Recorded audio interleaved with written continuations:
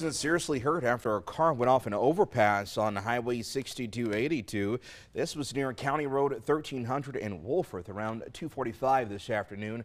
DPS tells us that driver somehow crossed into the center median before going over the overpass. We're told they're being treated at UMC tonight.